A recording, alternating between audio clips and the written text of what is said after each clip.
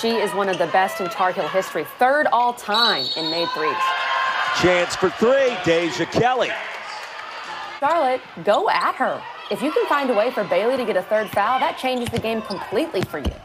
Busick off glass, and Charlotte now six for its last seven from the floor, and it's a one-point game. Get the bounce, watch the rebound. Here comes Carolina. In transition, nice catch and finish on your pull. Great.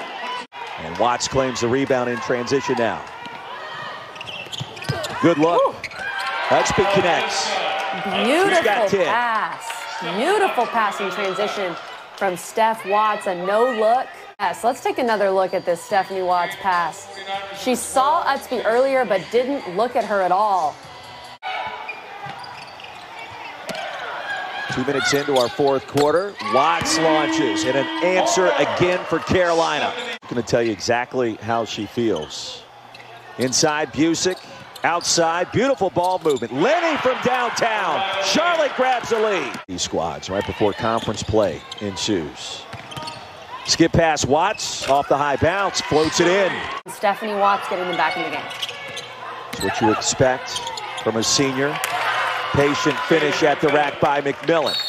It stayed in their 2 3, stayed in their principles, and made it tough for UNC to get the ball to their senior leader.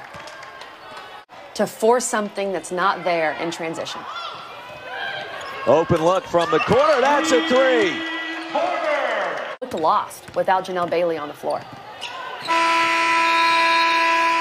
Six point win for the Tar Heels. Kelly, the first time all season. Carolina hasn't reached 90 points. It did not matter. What are your final thoughts from today?